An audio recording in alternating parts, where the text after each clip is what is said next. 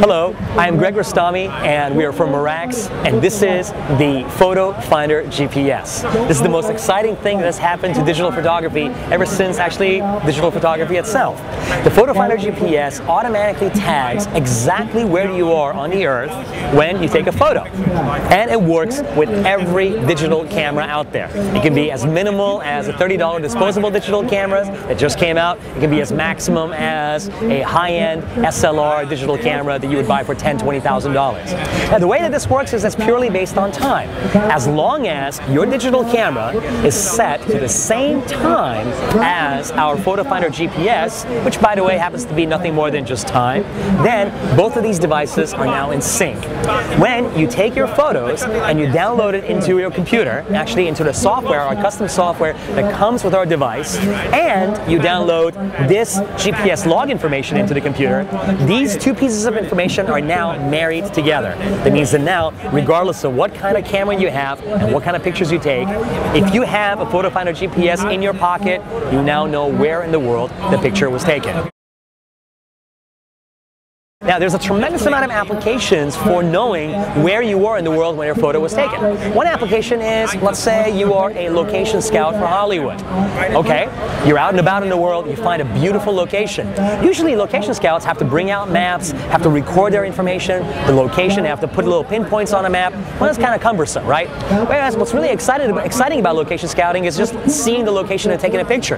Well now, because of the Photo Finder GPS, the location scout drops it in his pocket, they forget about it for 21 days. Because remember, the battery lasts for 21 days. It is a lithium ion polymer.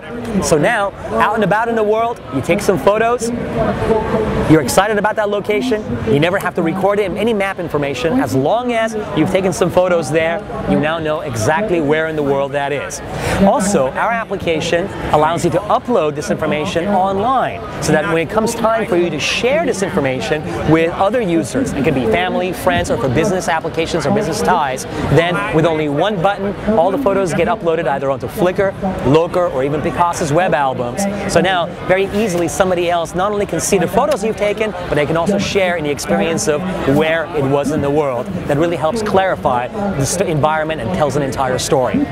So that is the Photo Finder GPS.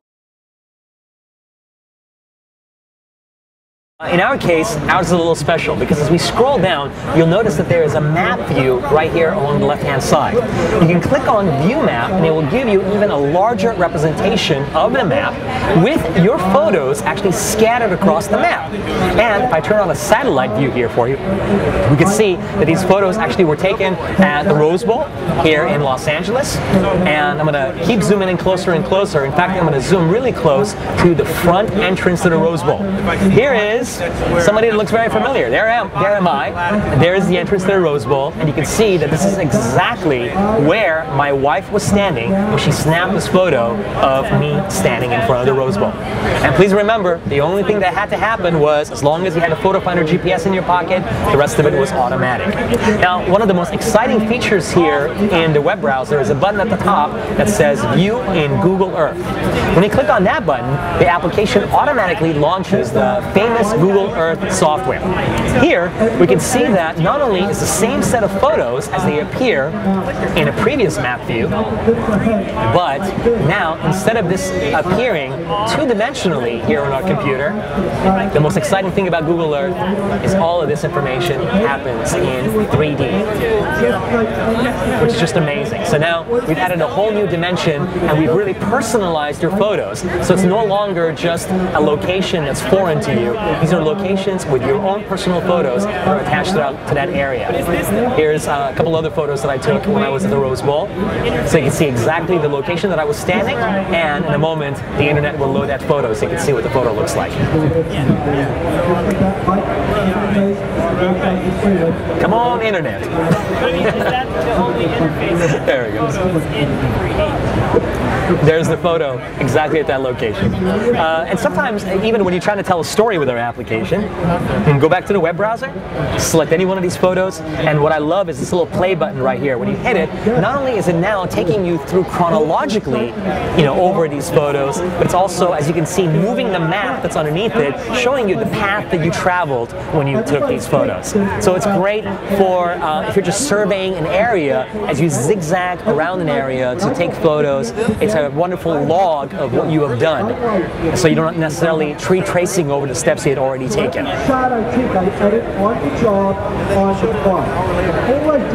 And that's it.